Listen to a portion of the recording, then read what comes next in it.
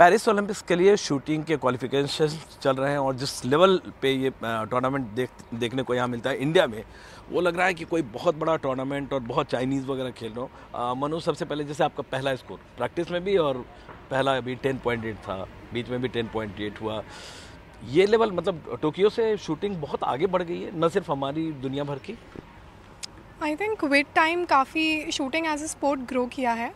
Earliest earlier time में देखें तो सर से आई हैव नोन शूटिंग और उसके बाद से लेकर आज तक आई थिंक कहीं ना कहीं स्कोर्स का मार्जिन थोड़ा थोड़ा बढ़ा है। जैसे उस समय में सिर्फ़ कुछ एथलीट्स हुआ करते थे जो बहुत अच्छा स्कोर किया करते थे। अभी काफ़ी सारे एथलीट जितना मुझे ये लगता है कि काफ़ी सारे एथलीट्स उस मार्जिन को टच करने लगे हैं जो कि I think shooting as a sport की ग्रोथ दिखाता है। जसपाल सर आपका अलग अलग फेम था, चौरानवे में और फिर 12 साल बाद 2006 में।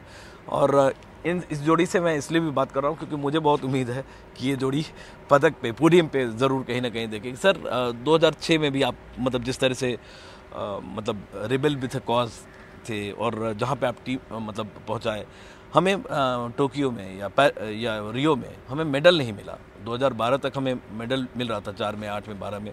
आपको लगता है कि वो बारह साल बाद फिर से मेडल के लिए हम बहुत क्लोज हैं।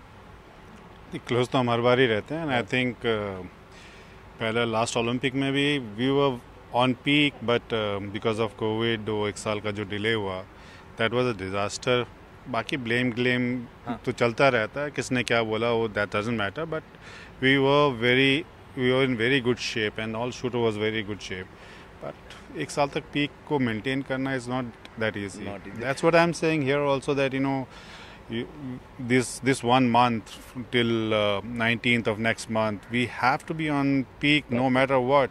अब कोई बोलता है कि ओलंपिक के टाइम पे पीक होना चाहिए लेकिन अगर आप इन चार ट्रायल पे पीक में नहीं हो और आपका स्कोर नहीं है उस लेवल पे you are not in the team so what's the point of being in the peak at the time of Olympic so थोड़ा तो थोड़ा तो कहीं ना कहीं कंसिडरेट करना चाहिए था, कहीं ना कहीं आप हर एक इवेंट के ओलंपियंस को बिठाते, उनको, उनसे बात करते और फिर फिर डिसाइड करते कि ट्रायल्स कब लेने, कैसे लेने, कितना गैप होना चाहिए। वो सब होना चाहिए था लेकिन बट ठीक है, अब जो है वो है we can't keep crying all the time Jaspal, जब बोलते हैं तो उसका मतलब होता है, और हर बार आपने जब भी बोला है प्रूव किया है। इस बार फैंस क्यों उम्मीद करें?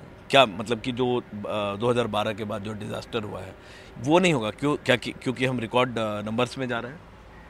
It doesn't matter record number doesn't matter but definitely अगर 20 कोटा प्लेस आए हैं तो 20 बच्चों ने अपना दम खम दिखाया फ़र्स्ट ईयर से लेकर ओलंपिक ईयर तक दिखाया है। तो and they are very young team and you know very energetic people so I hope that we are not coming back without a medal this time Manu मैं आपके dad से regular touch में रहता हूँ। तो उन्होंने जैसे लास्ट टाइम भी आपका मिस हुआ था तो उन्होंने बोला आपने बताया कि किस्मत कब तक रूठेगी? You you are a fighter that उस पॉइंट ऑफ़ व्यू से उन्होंने मुझे कहा था।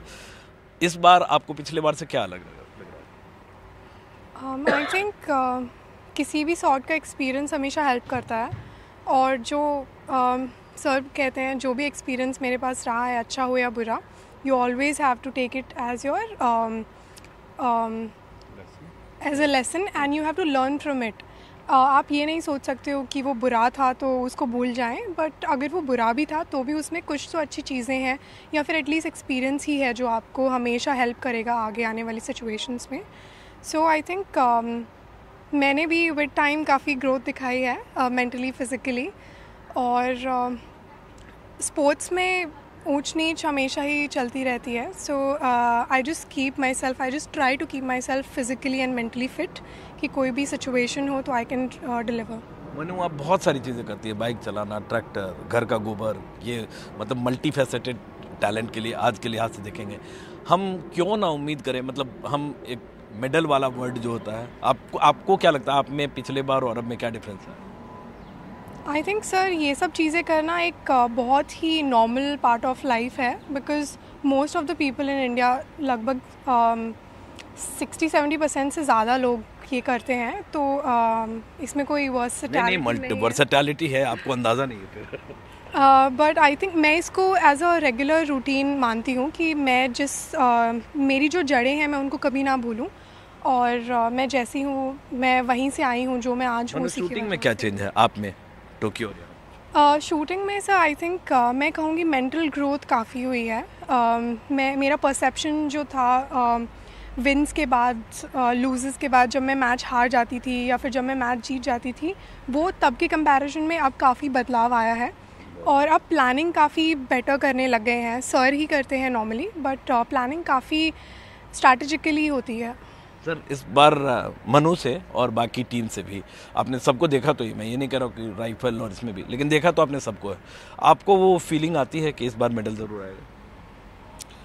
See I think everybody should go with that attitude कि जब घर के माँ बाप को एक बच्चे पे कॉन्फिडेंट होता है कॉन्फिडेंस रहता है।